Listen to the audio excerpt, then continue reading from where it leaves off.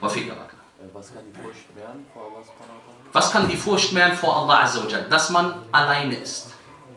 Nicht so viel mit den Leuten zusammen ist. Und dass man über Allah Azzawajal nachdenkt, über die Abrechnung Yawmul Qiyamah. Und dass man auch versucht, Geschichten über diejenigen zu lesen, die Allah Azzawajal am meisten gefürchtet haben. Dass man viel den Koran liest und man zwingt sich zum Weinen.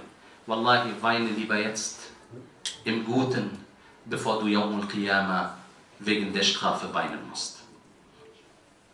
Möge Allah uns bewahren. Na.